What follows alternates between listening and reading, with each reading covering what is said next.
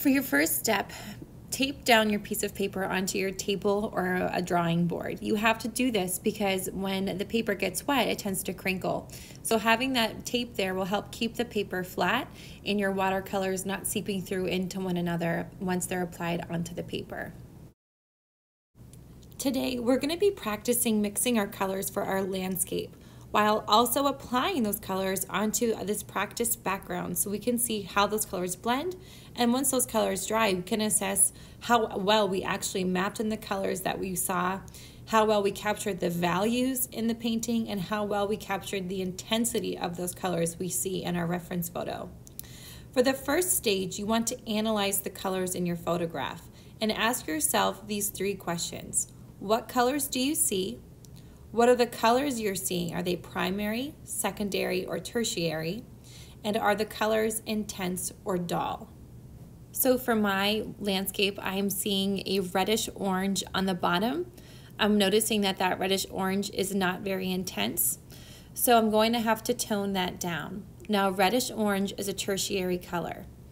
When I mix tertiary colors, always consider how you can blend two primary colors together to create the tertiary color that you need.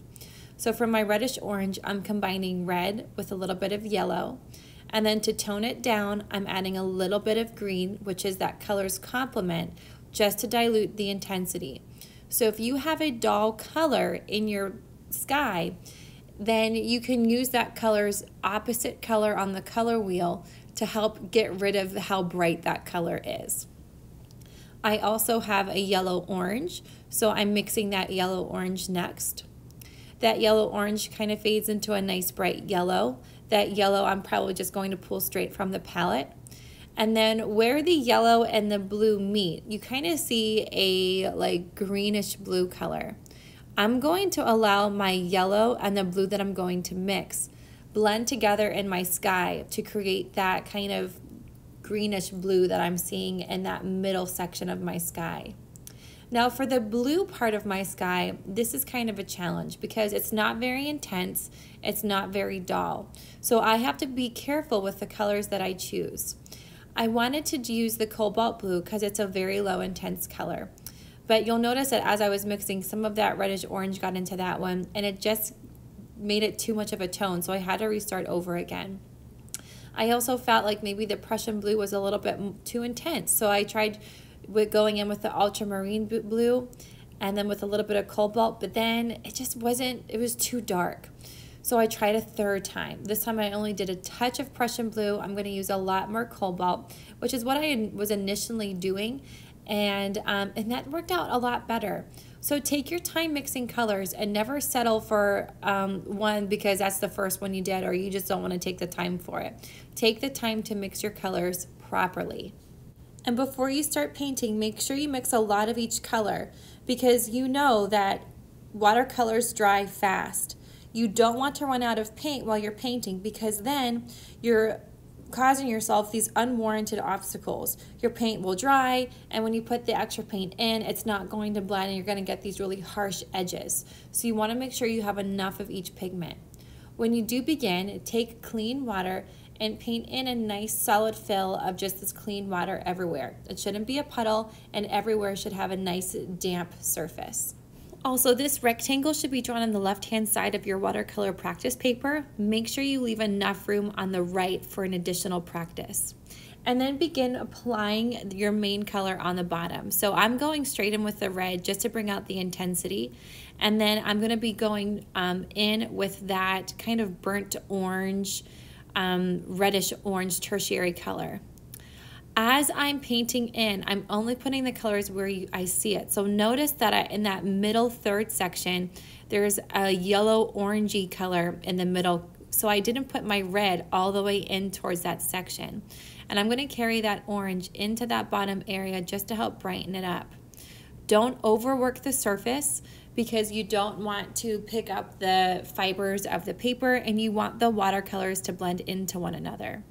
Now to get that fade, after I place in that yellow, I'm going to slowly pull up that yellow into my water, just the wet water, just so it starts to fade into the blue a little bit more. After I've done that, I can start applying my blue in. I noticed I just wanted it a little bit darker, a little bit more pigment because my value was off. So I went back to my palette just to add in and pigment, um, just to darken those values. So always pay attention to not just how well your color matches the reference photo, but how your values match the reference photo. And then what I'm going to start doing is pulling that blue down into that yellow section. At this point in this variegated um, gradated wash, I need to start looking at how well I've placed in my colors. I notice that that blue needs to extend down more as well as the yellow needs to extend into the blue more. So I'm going back in with that yellow, putting it in and I'm pulling that yellow into the blue and you can start to see that that yellow is mixing with the blue in that area and I'm starting to get that yellow um, greenish blue tertiary color that we're seeing in that section. After you've done, like put in the colors, then I want you to stop and let the watercolor dry and come back in about 10 to 15 minutes to see how the rest of the colors blended into one another. At this point, you're going to have to assess your work by filling out the worksheet that's attached into today's assignment.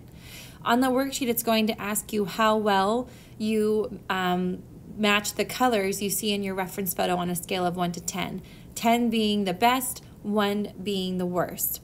It's also going to ask you to assess how well you matched your values and how well you matched your color intensities.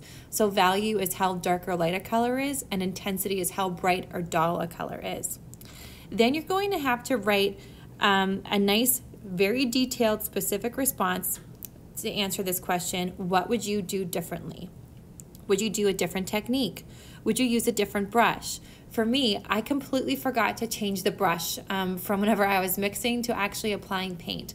I should have put every the paint in with a rounded soft bristle brush instead of the rectangular brush. You'll notice how I have these like harsh edges in certain areas because I was not using the proper brush. So I would use a different brush next time. Um, I also need to adjust my color placement. That red is not dark enough on the left and right hand corners or edges, and it's also not low enough. I put my red a little too high, so I would need to change the placement of that. Now that I've assessed the work and filled out that worksheet, you're going to have to paint your sky a second time, trying to do things differently that you need to fix from the first time. You will submit two sky practice landscape watercolors into the assignment for today. One hopefully being an improvement from the first one, as well as submitting the filled out assessment worksheet. You are not required, nor do I expect or want you to put in your black foreground. I only want you to practice painting in the sky.